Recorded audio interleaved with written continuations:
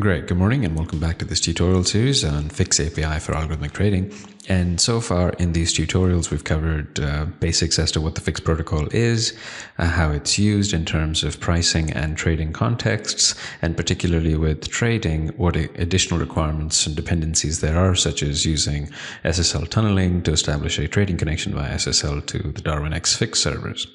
In this next round of videos, we're going to be covering QuickFix as the engine that we'll be using for establishing uh, pricing and trading connections to the Darwinex uh, Fix server. And we'll also be studying in detail what the application structure and configuration uh, is behind any QuickFix implementation. For this, we'll go through a series of tutorials here, five in total, where first we'll introduce what the QuickFix engine is. Um, we'll go through variable definitions. We'll go through fix session configuration, the fix application interface, and finally we'll go through some example code on how to go about implementing everything in your algorithmic trading solutions. So let's begin with QuickFix, the various programming languages that it is available in, what it is, and how we go about acquiring it. So firstly, let's go to quickfixengine.org, which is the official site for the Fix protocol implementation, QuickFix. And here you'll see some options, as well as some links to documentation, source code, as well as other resources. The QuickFix implementation is currently provided in C++, Python, Ruby, Java, C Sharp.net, Go, and other languages where portability has been established between the original project and additional bindings that have been developed by the Fix protocol community.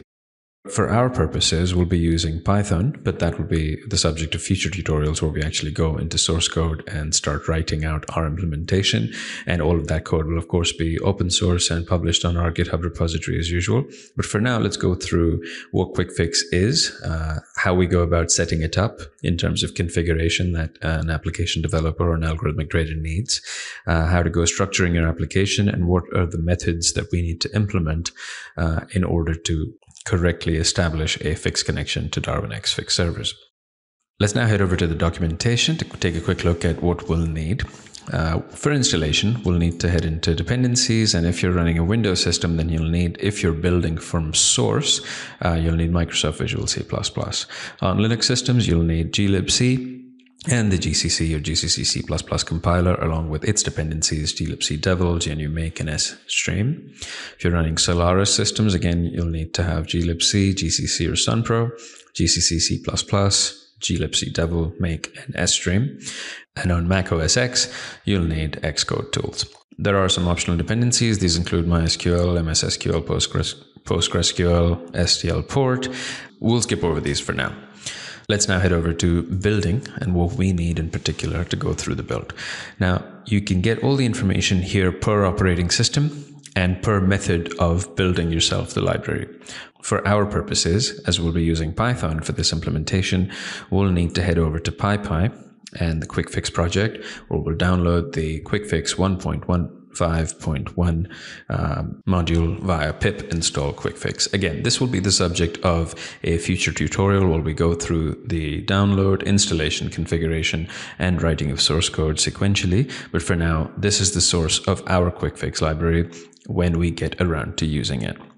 There are some additional uh, unofficial Windows binaries for Windows users uh, for these Python extension packages, and you can find them on lfd.uci.edu. They're maintained by Christoph Gohlke of the Laboratory for Fluorescence Dynamics at the University of California, Irvine.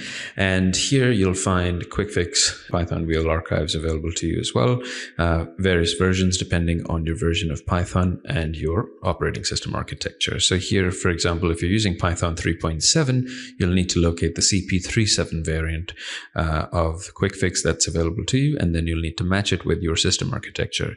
If you're running a 32-bit OS, you'll need to select the Win32.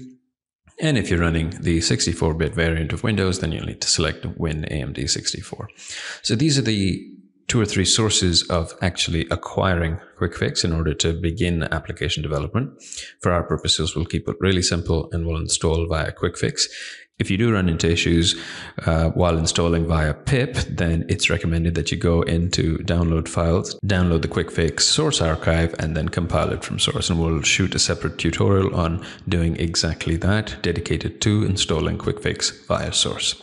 So that's it for the introduction to QuickFix. It is a Fix protocol implementation that allows you to create applications via which you can connect to a Fix server and transact via the Fix protocol. In the next tutorial, we'll be going through some important variable definitions that are required in order to set up a QuickFix application correctly.